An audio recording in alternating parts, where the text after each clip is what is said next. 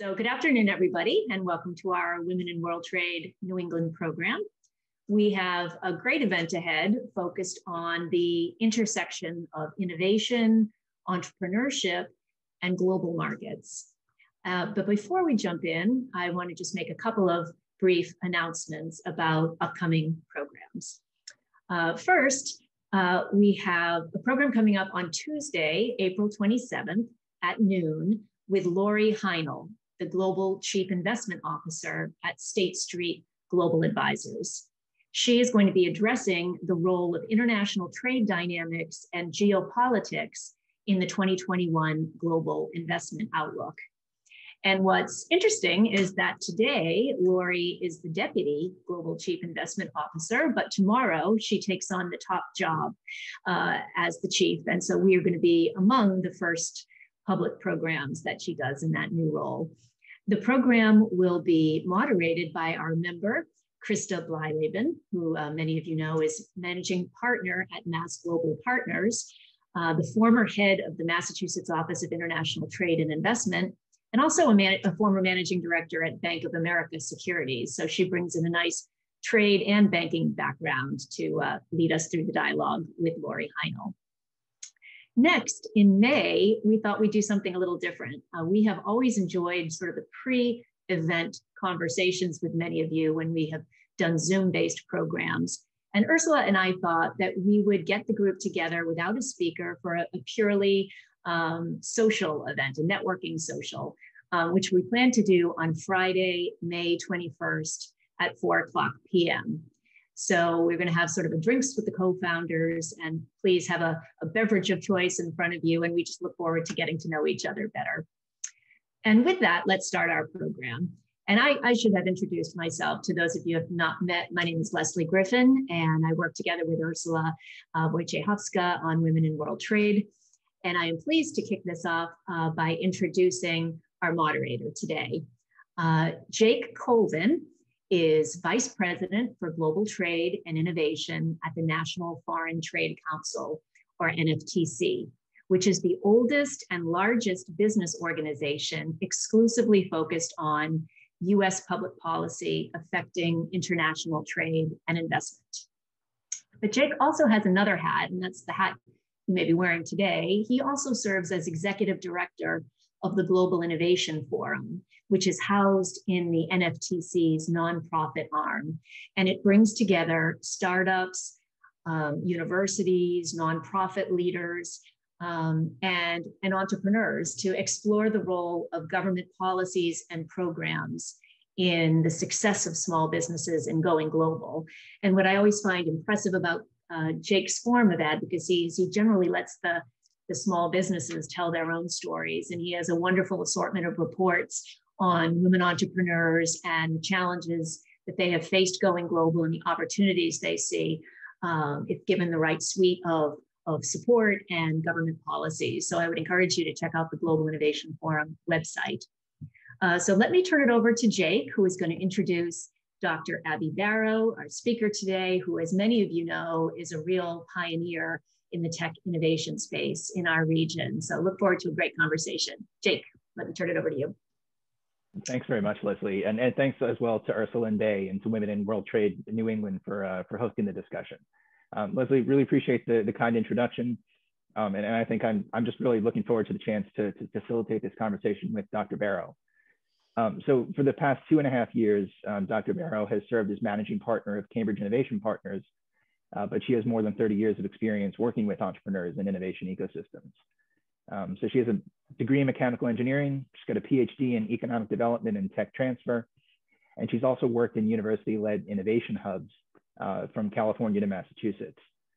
Um, she is also, in addition to her current role, uh, chair of VentureWell, which assists uh, student in, uh, inventors. And so, Abi, it's, it's been great to have a chance to get to know you uh, and really uh, appreciate you making time for this discussion. Um, I, I, think, you know, my hope generally is to focus the conversation on on kind of that nexus of university-led innovation and entrepreneurship uh, and global markets. Um, and I think given your, your background and, and your current role, I wanted to start specifically uh, talking about the role of American universities in encouraging global innovation. Um, so thought we could do this in, in kind of a, an initial question and answer format. Um, but uh, those of you who are participating in the discussion, I know the chat is open. Uh, the Q&A also appears to be open. Um, I think probably easier for me to, um, to pay attention to the chat right now. And so um, if you can put um, questions, comments um, in the chat, that would be great. Uh, and I'll, I'll try to facilitate the conversation and get to as, as many of them as, as I can. Um, but maybe start off with a broad question, Abi. I, I mean, in your opinion, how well positioned are American universities to give emerging entrepreneurs the tools to commercialize innovations globally? Um, and given the, the focus of the group, you know, are there, um, um, how well positioned are universities, particularly with respect to um, encouraging women entrepreneurs? So I think the answer is getting better. Um, so I think universities um, have been recognizing in general that women have not been participating as much in commercialization as men. And, you know, in, in many areas as other areas as well within institutions as, you know, famous story at MIT where a woman faculty member went around measuring space and got the data to show that she had less space than men did. And I think we've seen the same thing in innovation and patenting because women have been participating at lower rates. And I think the first thing you need to do is become aware of the situation. Then you can start improving outreach.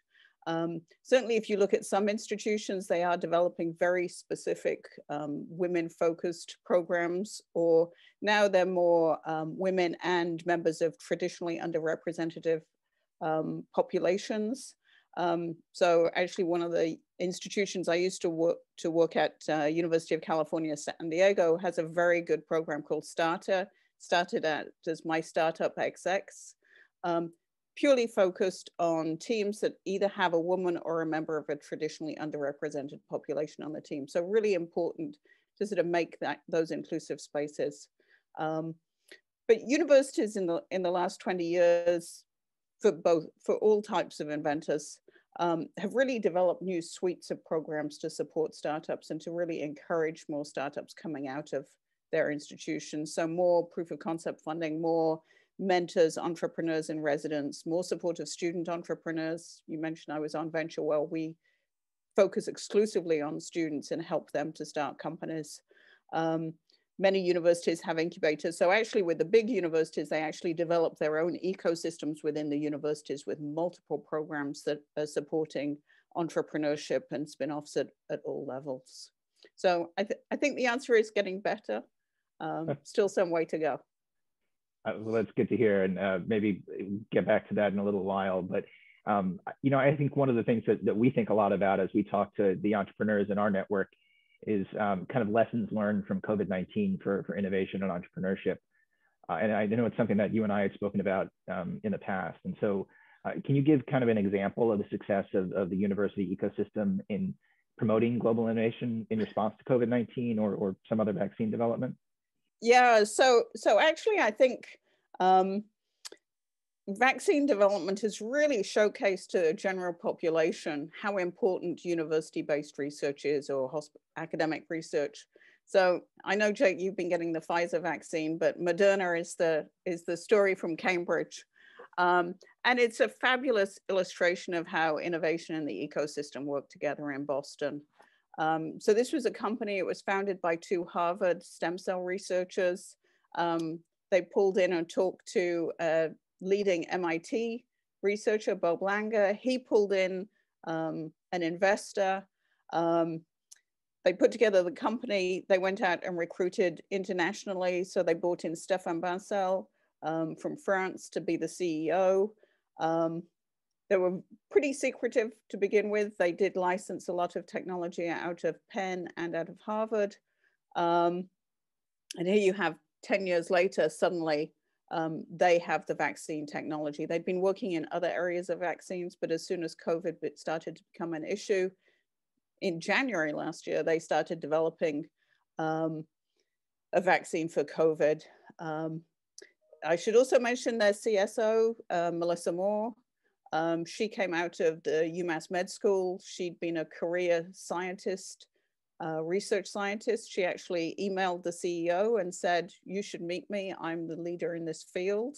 Um, she went on their advisory board, their scientific advisory board, and then she became their um, chief scientific officer. I don't think when she sent that email, she ever dreamt that she would become their chief scientific officer.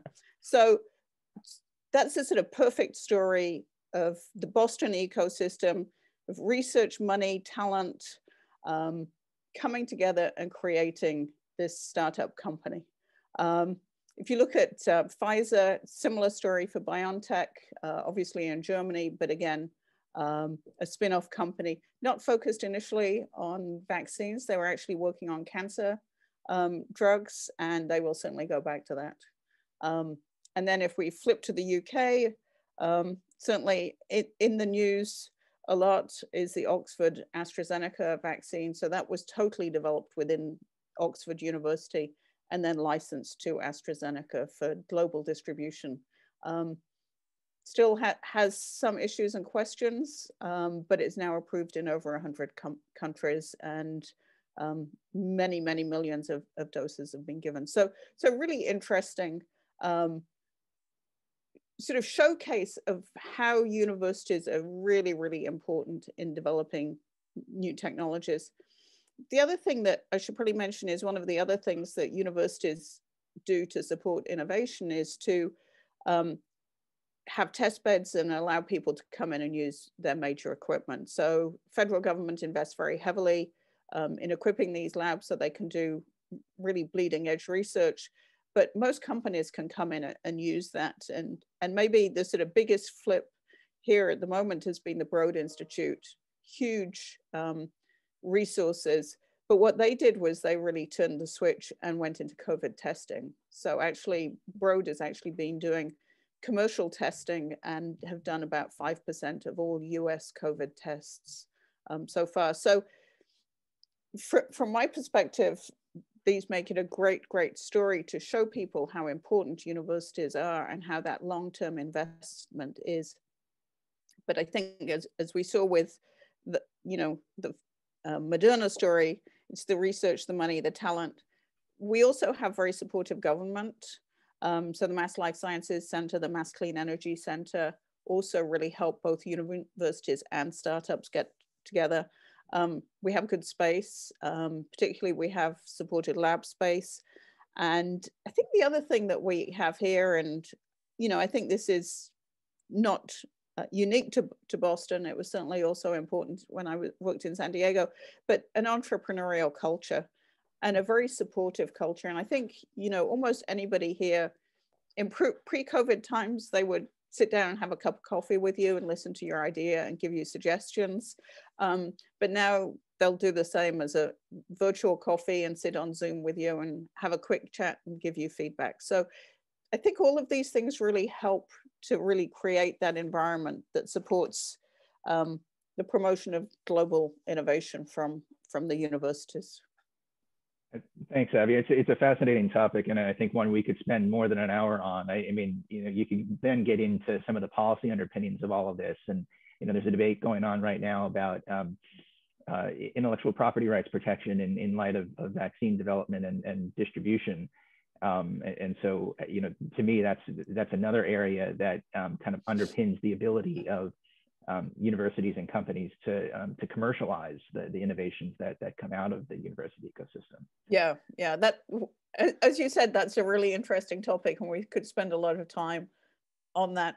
And um, it's pretty contentious, but the IP is only the beginning of the story. It's all the supplies and the manufacturing is that is what's really holding back, you know, the, the global um, development and production of of vaccines. It's not it's not that little piece of IP at the bottom of the pyramid.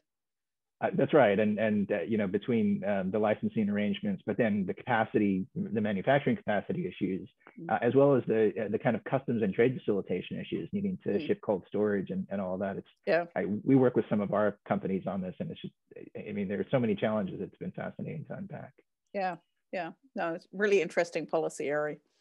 I, I did want to press on one uh, additional issue related to COVID-19, which is that um, you know, it's become even more difficult for the United States to recruit foreign students in the current environment. Um, it wasn't easy before, uh, and also with respect to entrepreneurs, you know, we don't have anything akin to a startup visa um, to easily allow uh, entrepreneurs to come to the United States unless you drop a significant amount of money. Um, and so, you know, as, you look out in a post-COVID landscape, what needs to happen to make sure that the United States is, is attracting the best and the brightest students and entrepreneurs? Well, I, you know, first I agree with you, and I think it was um, particularly hard under the previous administration to recruit a, a lot of students. Um, I should note that it's probably not an issue for Harvard and MIT. They get all the students they want, um, and they certainly get the best and the brightest all the time. But it's particularly an issue for smaller institutions. And I think the biggest issue is actually with PhD students, because that's been such um, a big way that the US has kept you know, the research engine going by having all the PhD students doing a lot of the underlying research in um, the inventions that come out of the institutions. Um, and I think, you know, I do some work at the moment with Boston University. If you look at over there, 25% of their students are foreign students. Um, slightly lower percentage at undergraduate than at graduate, but it's also a huge finance issue for institutions and frankly for the state of Massachusetts because we have so many foreign students coming in.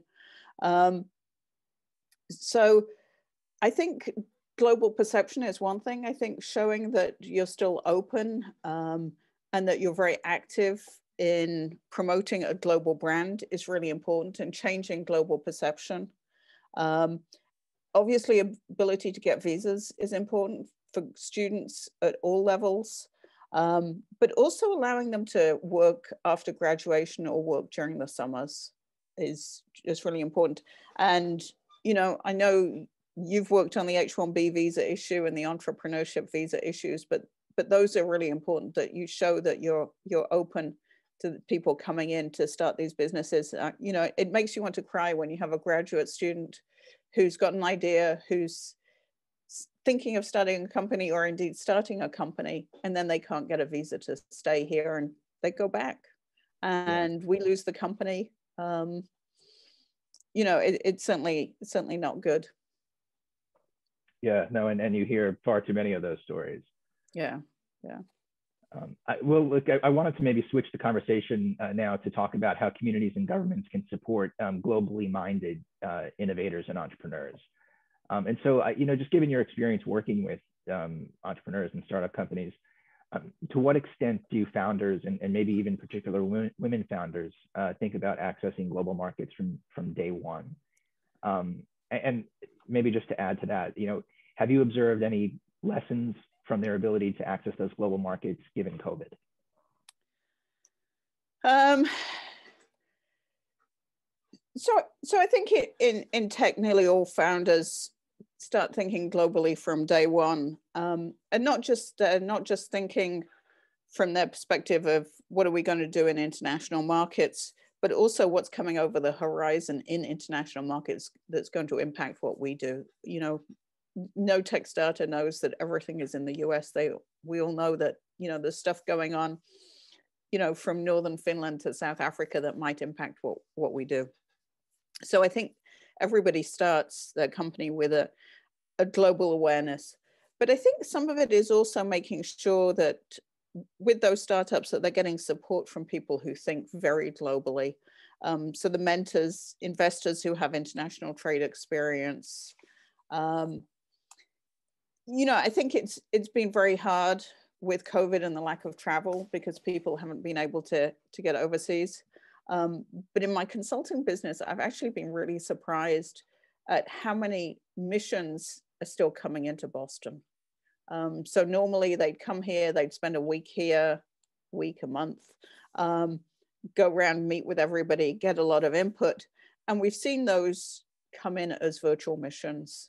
So they're still coming in, they're doing the training programs, they're meeting people, they're networking, and developing knowledge of the market so that what these companies really want to do while they can't physically travel here is really set up um, their expertise so they're ready to go as soon as the travel is able to happen again but also to make those connections so that when they can get here they've already got a set of friends that they they can meet with and learn i think the other thing that's really interesting is that every event has gone virtual. Um, so I think people are attending events that they never thought they would be able to before without, you know, physically going to a conference. Um, you know, I'm based in the Cambridge Innovation Center and the Venture Cafe, the Thursday afternoon um, meetup is global. They got people from all over the world. Um, Mass General Hospital has a huge World Medic, Medic, Medical Innovation Forum that they hold every year. So obviously last year the plug got pulled on that um, just before it was supposed to happen. Um, usually they get four to 500 attendees. They made it a free virtual event. They got over 20,000 attendees and it was truly global. I think they had people from over 100 countries. So, you know, COVID, very bad, obviously, um, but it really has opened up some areas. Um, you know, companies all over Europe are coming into events here, doing mentoring programs at MassBio. Um, I'm hoping that some of our startup companies are taking advantage of what is happening in Europe and in other parts of the world so that they can really plug into the into those markets. But certainly I'm seeing it still coming in here, which is great. That, what are you seeing? Um, I, well, good to hear that um, that they're finding workarounds to, to meeting in person. I, I, you know, I think generally, and, and we saw this before the pandemic, that um, access to global markets is particularly important for women entrepreneurs. Um, you know, during the Obama administration, USTR put out some statistics that suggested that uh, women-owned firms that export benefit from this. They call it an exporter premium, so that on average they pay higher salaries, they're more profitable, they're more productive, both in women-owned businesses that don't export and men-owned businesses that do.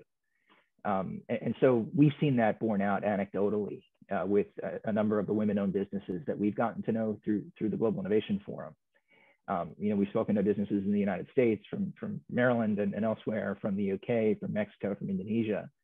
And, you know, there's this common refrain of um, it, it was difficult to get traction locally, but they were able to get some good press hits, some, dis, some distributors, um, uh, some customers overseas, direct to consumer. Uh, and it gave them both sort of the confidence and the credibility back home. Um, and often gave them access to additional funding options as well. And so um, uh, you know, I think that's that's an important piece that we try to um, to elevate, uh, and that kind of exporter premium is, is also holds true for um, for minority-owned businesses, uh, and particularly Black-owned businesses. Yeah, I I I'm sorry. Go ahead. Well, just to add to that, I think you know I participate in some training programs with entrepreneurs coming here for um, different programs, anywhere from a month to six months, and I think um, particularly the women entrepreneurs who come over, when they go back, they're seen very differently. That they've been in the US, They've and and they're more aggressive and they've learned how to sell their business better. Um, so I think they do succeed more. But but yeah, there's nothing like being recognized, you know, overseas or outside your region to be seen as an expert and to to you know get more attention. Exactly. Um, I was just going to say, you know, I think what we've seen from the pandemic is that um, this combination of use of digital tools and access to um, to global markets um, has both sort of simultaneously helped to improve um, startups and small businesses' resilience. Um, yeah. So, you know, there's there's statistics that three out of four small businesses increased their use of digital tools uh, in response to the pandemic, uh, and that those that did so were more likely, were, were, excuse me, that we're less likely to experience economic hardship. Uh, and the same thing with global markets, that if you're using digital tools um, during the pandemic, you're accessing global markets more, and then um, your business has uh, sort of survived better uh, during the pandemic. Um, I, so, you know, you started talking about um, communities and, and kind of the ecosystem in, in Massachusetts and, and also a little bit in California. Um, but what kind of resources, you know, whether they're government or community or, or nonprofit or, or for-profit, uh, are available to help uh, startups engage globally? Um, and are, I, mean, to your point about sort of regional efforts, are, are there particular regional programs that work well? Yeah, there are. You know, obviously, um, the Small Business Development Center's Export Center um, is very active, has very good training and support programs, and particularly helpful on compliance issues. Um, so if you're thinking about doing anything internationally, you absolutely need to go and see them. Um, a lot of our state programs, uh, we have a, pretty small office of international trade and investment, but the Mass Life Sciences Center and Mass CEC have done quite a lot of international programs in the past, and I'm sure they're thinking of that in the future too. and um, we have a US Department of Commerce um, office here as well, which um, supports startups. I think, you know, one of the things that we're, we're very lucky to have though, is a group of consulates who are very engaged in the local community and particularly the tech community and the research community. Um, so, you know, I, I can't name them all, there's so many, but, you know, Japan, you know, France, Germany, the Netherlands, the UK, obviously. Um, I shouldn't forget those. Um, but they do a lot of programs, but they're also really set up to help people find resources overseas. Um, I've got Canada as well. They've got a, they're, they're, probably the biggest consulate here. Obviously, is our ne nearest and biggest trading neighbor. So so the consulates have a lot of programs and a lot of activities, um, and then some very specific accelerators um, that focus on on different areas have have strong links. Um, and then finally, you know, women in world trade. Uh, I think women in world trade hopes to become a resource. There are other um, also national groups, you know, the biotech Brits get together every so often. Um, the French have a, have a group, TiE is the Indus entrepreneurs. So there's a lot of ways that we keep these networks going and um, either officially or unofficially have support programs to help people think more internationally and, and get out, outside of our little boundaries it's a it's a great call out for um, the consulates, and I think the there's an analog to that, which is um, the the U.S. commercial officers in embassies abroad um, who can also provide good value, and, and they're yeah. out to bat for you. Yeah, um, absolutely. We need to take full advantage of what our taxes are paying for. That's right. Um, I, I, would also call out just I, I think you know that where I've seen success has been where there is public and private sector collaborations. Um, you know, one thing that we do is we have um, a, a, really cool partnership with the U.S. Department of Commerce on something called Startup Global, um, and it's something that we launched with Secretary Pritzker during the, the Obama administration. And the idea really is just to get entrepreneurs to think global from day one. Um, but I think what's what's useful about it is that um, we bring together these government officials um, to talk about trade promotion programs, the SBA resources that you just mentioned, uh, what PTO does. Um, but we also bring together um, private sector companies, PayPal, UPS, Intuit, and, and peers that have already gone global. And it's kind of that um, that interaction and that you know realization of its its private and public sector together that I, I think um, spurs these these kind of really unique conversations. Yeah. Um, so turning, I, I, want to turn to, to funding and, and specifically maybe with, with women entrepreneurs and, um, and underserved communities. Um, you know, are there eh, efforts that you would point to that can help women entrepreneurs um, access funding or otherwise connect and succeed? Um, or, uh, you know, are there efforts to provide funding to Black, Indigenous, and minority population? Yeah, I mean, I, I think in, in some ways this goes back to, to the first answer is that recognizing that it's, an issue is indeed a, a, a first step. And I think many venture capitalists and investors have been very embarrassed when they've sort of reflected on on their situation and um, look at how few women and minorities have been involved in the startups that they're funding. So I think there's been that that's that's the beginning.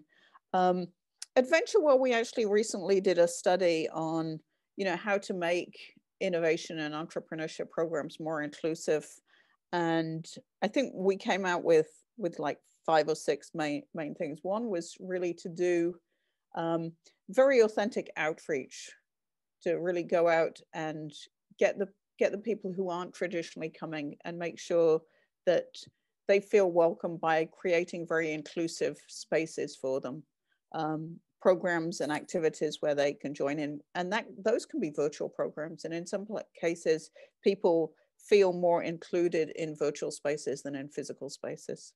Um, helping build confidence. So you know a lot of people have imposter syndrome, but helping them work out that they're not imposters, that they have every right to be there um, as everybody else and that they're as good as everybody else. Um, engaging faculty and other leaders, so making sure that there is support from, from the top up. Um, and show that there's multiple pathways to success. You know, it doesn't always have to be the same way.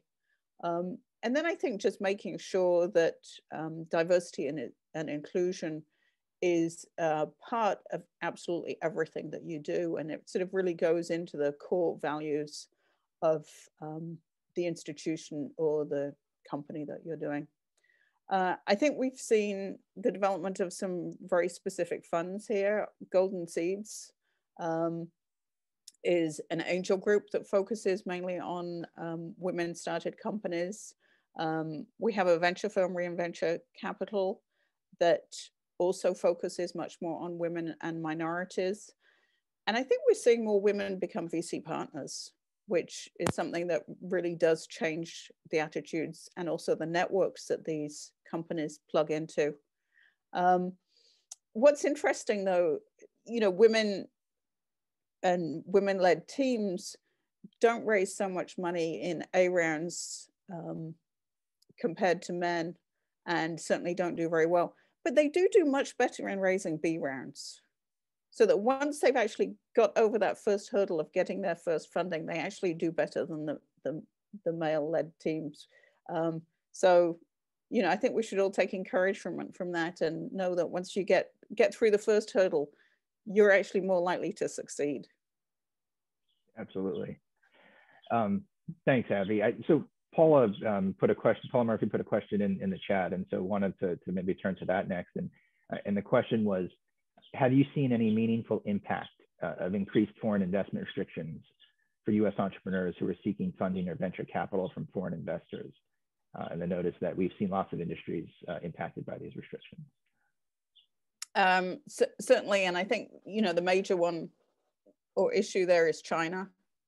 Um, and um, the, the sad thing is that, you know, as I said before, sometimes, you know, you work with a graduate student and they um, want to start a company and they can't get a visa. Sometimes they also find they can raise money at home more easily um, or take that money more easily. So I think we've seen some companies that have been set up, and I'm going to say China again, in China rather than here um, because they can get the funding over there more easily. Um, so it's absolutely an issue. Um, it's and it's in every sector, but certainly life sciences is one sector where I've seen that a couple of times. Well, and I, I don't have any specific examples to point to, but um, you know, this I, completely agree with you, Abi. It's it is all about China, and, and I think it it kind of um, it, it's across the board. It's it's physical goods and ICT infrastructure. Um, it's app development, and, and you saw during the Trump administration some of the restrictions on uh, on WeChat and, and uh, some of the payment companies. Um, it's investments, um, which Paul mentioned, uh, but it's also deemed exports and, and researchers um, who, who may or may not be able to come here. And, and so, uh, you know, I, I, think what I've seen from DC is that uh, there's certainly a shared bipartisan concern across multiple presidents and Congress about um, the national security implications of, of yeah. China. Um, and so I, I, think you know now it's a question of how the Biden administration and Congress are going to um, balance the national security considerations with economic considerations.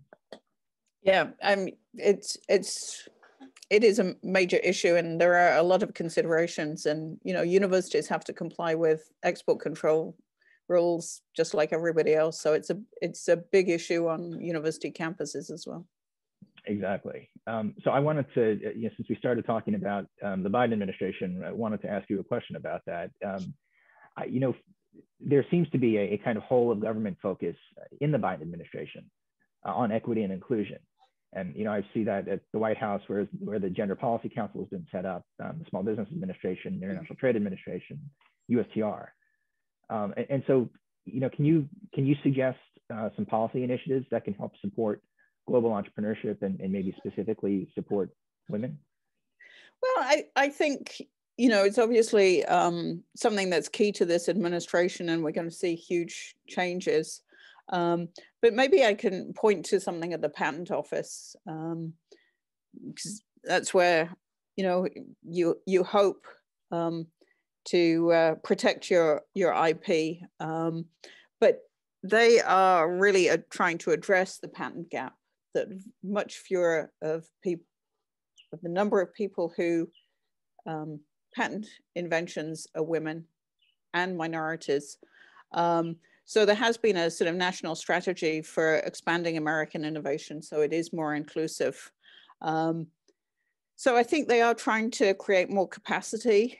Um, they are looking not just um, at the US, but internationally um, to have more IP educational opportunities, um, help develop more curricula, um, do more one-on-one teaching and support. Um, so really sort of getting out there more to help people learn about patenting and how, how to get patents. Um, they want to um, increase access, particularly amongst student entrepreneurs so that they can uh, better protect their ideas and um, get, get interest from potentially investors and build their credentials. Obviously, a patent is the you know one of the first building blocks for a tech startup or many tech startups um, and then you know establishing goals um, both measuring but establishing goals are really important and communicating what you have been doing what resources are available and making that transparent um, for your stakeholders so you know that's just what's happening in the patent office i'm sure that you probably have better knowledge than me that is happening in all sorts of, of other agencies. But I think also from a from a global perspective, just having more women in leadership positions. I think you know the U.S. was seen differently when we had women secretaries of state. You know, going back to Madeleine Albright, but also Hillary Clinton, and now that we have a woman um, VP, all of those are really important to show, you know, that we are a more inclusive um, society. Absolutely, and and I think um, you know one thing that I've noticed um, since January is has been the Biden administration just saying over and over that um, a focus on inclusive growth and trade uh, and women entrepreneurship and and uh, minority-owned businesses are are priorities for us, and and so um, that's gotten everyone to think differently uh, here in DC. Mm-hmm. And I can tell you there've been a lot more conversations and and um, questions about how can we help uh, than there were over the past four years. Yeah. Um, you know, I think one of the places uh, you mentioned the patent office. I think another one of the places where uh, where more can be done is um, with trade promotion programs and, and, services. So Australia did a study um, uh, a couple of years ago that suggested that women are woefully underrepresented in uh, as clients of, of, government trade promotion programs. Um, and so, you know, how can the United States and other countries um, recruit more clients um, who are women who um, are minority-owned businesses. I, I, think that's that's one area where um, certainly I expect the Biden administration to focus. Yeah, Canada was going to do a program last year um, solely for women, a trade mission solely for women-led businesses. Um, sadly, that was supposed to be in Boston, I think like March 23rd or something last year. So that was a mission that didn't happen, but hopefully um, when we can travel again and the borders are open again, it'll happen. Well, and Canada has also been a leader on on trade policy, right? And so, uh, you know, they've built commitments on gender into their trade agreements. Yeah. Um, there's a way to, you know, I, I, feel like there's a way for the United States to dock onto that and uh, and expand not only to gender but um, but to racial equity as well. Yeah. Yeah. Um, so there's a, another question in, in the uh, in the chat from from Dawn. Um, and so, do you have any comments about introducing uh, innovators to, to those in larger companies uh, the OEMs and top tiers um, who are responsible for sourcing. Um, she said it's, it's not always easy to figure out who those people are, uh, wondering if you have suggestions of good sources or networks, uh, particularly in New England. Yeah, uh, sadly, there isn't a sort of magic directory that you can plug into for all these people. But um, a lot of um, the events, particularly if, you know, the uh, CIC's Venture Cafe um, they will often have speakers or they will actually have whole evenings that are um, sponsored by different um, large corporates. Um, I mean, one of the things, again, you know, this is part of the Boston ecosystem that I didn't talk about, but, you know, all of the big pharma companies have offices here and have scouts here, but you know, BASF have a venture fund here, Saint-Gobain have technology scout here. there's no official list of them, but if you get in to meet with one, they usually know the others, so they can help you find the others. Um, and then these people are always speaking at events or going to networking events because that's their job to get out there and, and find people. And then, you know, find find your people also who are very well plugged in. So, you know, if we have coffee, I can probably give you three different corporate scouts that you could probably talk to in your sector. So it's really a question of getting in and doing good networking. I've found too that um, particularly if you have, um, if there's, there really is a fit, um, you can approach some companies directly. Um, Abi, as, as you mentioned, you know, a number of the pharma companies have representation in, uh, in Massachusetts. Um, I, you know, I found that with, with tech companies as well. Uh, but there's also, I, Abi, I, I, did, I don't think I heard you mention Mass Challenge. Um, I yeah. think they do actually a, a really good job of connecting their cohorts with um, you know, the kind of the innovation leaders at large corporates. Yeah, absolutely. You know, MassChallenge has got very big, large corporates, but you know, if you're in clean energy, Greentown Labs has got all the big corporates. You know, Shell, Saint-Gobain, you know, you name it, BP. They're all very involved. So, you know, finding those places where they gather is really important. Yeah. Um, so Abi, Ursula asked, um, how do cultural differences come into play? And uh, adding that in some countries, women in business are still not encouraged. So uh, how can how can we help? I, I think that's that's training and and support. Um, certainly, it's hard for women to do business in a lot of countries, but it's it's actually easier um, in others than you would imagine. Um, so it, it, it's support. But I think, you know, if you're looking, you know, to go to most of Europe, to go to most of Asia, it's now fairly um, open to women-led businesses. Um, so, you know, I think you just have to get out there and, and start meeting people um, I, you know, we, we've also been wrestling this with this too, right? I mean, I think we see global markets as part of the solution um, and part of the way for women entrepreneurs to gain credibility. And so is there a way to use international institutions like the World Trade Organization or Asia Pacific Cooperation Forum or some, you know, US and Canada led initiative where you kind of globalize um, the kind of network building and, and have a, a, a public private sector um, role to play in encouraging those entrepreneurs to find new funding sources to connect with each other. Um, you know, there, there are private sector or, or, NGOs that do this well already. Vital Voices is a partner of ours, and, and they're terrific. They've got this amazing global network um, where they, they train women on a regular basis, including in person, because they know how important the physical connections are.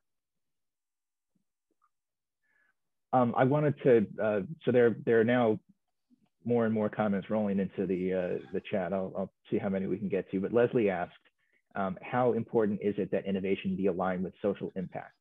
With the growing pressures on companies to measure, disclose, and improve on ESG related issues, do you see a growing sense of purpose behind innovation work in the community and globally? yeah, yes, and I think women help to, to change that equation. Um, it, it's certainly something that that starts on the bottom line but you know I, I think if you look at and and going back to the vaccine example if you look at AstraZeneca they dis, determined that they would sell at cost for the first two years the product and I think there is more corporate responsibility coming through um, at, at all levels and I think startups now they don't know how they're going to measure it but they articulate it when they pitch themselves when they talk about what they what they're going to do. I think the other thing, you know, from the students that that I work with and a lot of the student teams, what we see at a lot of institutions is this huge engagement with student teams, both in sustainable technologies, but also in technologies and products for developing countries.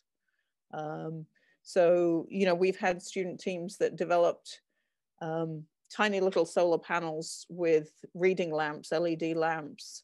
Um, the student who started that, he came out of the University of Illinois in Chicago. He's now raised, I think, $80 million, really expanding that business in India and changing the way that in village India, people read, and particularly students and school students um, can do their homework at night. So I think we're seeing enormous um, change um, within those areas. Um, so I thought uh, maybe I would just uh, ask another question. I, I, we're all looking towards the new normal, and you know the new normal is probably uh, not like the old normal. Um, you know, I don't think any anyone of us want to just do Zoom calls again. Um, but you know, you talked about uh, kind of lessons learned and and sort of makeshift networking uh, when when folks can't travel. Where do you think um, we settle in the new normal over the next you know one two three years uh, you know let's assume that the vaccines go fairly smoothly and that um, we can all get on a plane again if we want to. Um, you know will we? And and where does the the kind of give and take of that university ecosystem that relies on um, travel and and foreign students for the for its vibrancy where does all that land? Well i i think you know what universities have learned is that it's really having people on campus that makes a big difference and having people really learning together. So I think universities aren't going to see such huge changes. Um, but I think the rest of us, there's some things that that we're going to be doing that we never thought we would be doing. I think that you know Zoom is here to stay, or whatever Zoom equivalent we we get moved to. Um, I think doing events that are more open and more inclusive um, will always in, now include digital events. Um, I think we're going to, you know, video conference centers that really do have some partial video um, participation. Um, that's all going to stay. Um, and I think what's really interesting is what's going to happen to offices, whether we have, you know, more flexible space but less dedicated personal space. Um, I think a lot of us has got used to doing some work from home, and if we don't feel like going in, we're not going in. So I think that's going to be a major conversation in a lot of workplaces. And, you know, we know some of the big companies have said you you never have to come back. I think a lot of people aren't going to want to do that, but there's certainly going to be more generous work from home policies than we've ever seen before. Yeah, but it's it's it's a whole new world. I mean, in, in some ways, the question about the corporate scouts is you know do you need to find one that's local? You know why why do you need to bother these days? Because you can you know it doesn't matter there if they're in germany or we had somebody from spain in the chat saying you know i work for spanish companies. You know set up a meeting with them in spain because you can do it on zoom. Yeah exactly. Um i it's, it, it's interesting because we i see um as i look towards whether you know how much we're going to travel again in the future and, and then talking with governments um, I think it's the governments in particular where they do need the the face time to um, to hammer out deals and, and negotiate. It's um, it's a lot harder um, for them to do that, particularly when it's more than bilateral, when it's more than one on one. You know, if you're we do a lot of work with the World Trade Organization, and so as they're negotiating a new e-commerce agreement, um, it's real hard to do that among 60 different countries when you're doing it over you know whatever their Zoom equivalent is. Yeah, yeah. So I see that coming back, and, and so you know we will we will probably travel as well because you know we do so along with those those negotiators. Yeah, yeah, it's we'll we'll all get back on planes one day. um, so I I wanted to see uh, you know do you do you have any sense about how the startups that you work with target overseas markets? I mean, is there uh, does do they look intentionally to you know one or two local markets like Canada or Mexico or China um, or where maybe there are trade agreements in place, um, language sort of affinities, or is it you know often less intentional and, and more kind of serendipitous? I, I I think you know most of most of the companies look at at Canada and Europe. Obviously, Europe is an even bigger market when you combine it than um, the US. But then the big question is where do they enter them? Which bit of Europe do they enter and how do they enter? So that becomes a, a big issue as to, you know, basically picking a spot that they that they land in within within Europe. Um, the Asia is is harder. So unless you've got very good connections there, that's harder to to do as a as a first step. But it it it's nearly always Europe and, and Canada is a nice local market that's easy to get into and they speak the same language, most of them. Um, so it's easy, easy to go there. I, I you know, I, I think it, for, for us, it, it maybe depends too, whether you're um, a direct to consumer e-commerce company selling a piece of clothing or, or you know, maybe a, an app versus, uh, you know, a, a, company in a heavily regulated industry like yeah. um, medical devices or, or education or, or, something like that. And, uh, you know, I, I, think where we've seen the companies needing to be more intentional have been where you're regulated by two or three different, you know, industry or, or regulators.